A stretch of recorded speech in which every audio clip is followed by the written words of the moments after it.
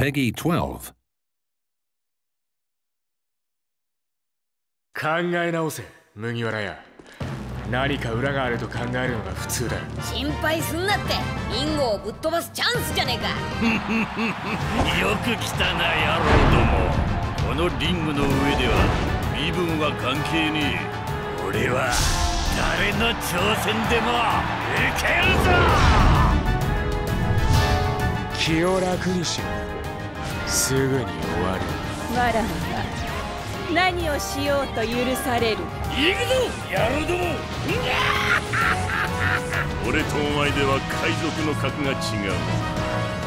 もとより命などくれてやる腹じゃい力に屈して男に生まれた意味がねえだろ海賊という悪を許すな恐れるに足らん。俺は白ひげだ。お前の力見せてもらおうか。雑魚は雑魚なりにあがいてここまで来たようだがそいつもおしまいだ。悪夢はいいか？報じられたあんた方の同盟の件でお聞きしやす。返答によっちゃ。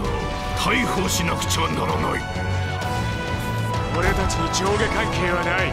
肘通り同盟だ。お前を倒して俺たちが優勝するんだ！さてお二方覚悟はよろしゅうござんすか？王になるのさ。海賊の王にな。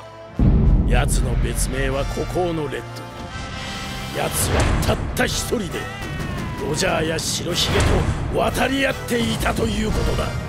今一度我が名をこの世に知らしめん。我らの旗印となってもらおうか。麦わらの一味新たな野望の第一歩だ。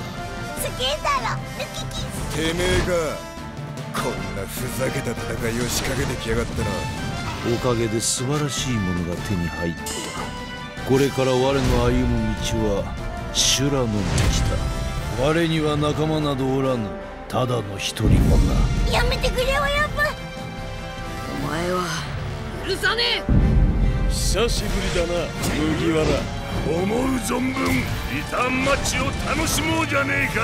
目的を達成するには情けも甘さも捨てねばならんお前は何も分かってねたまには本能に従ってみろ。ほら分かったんだ。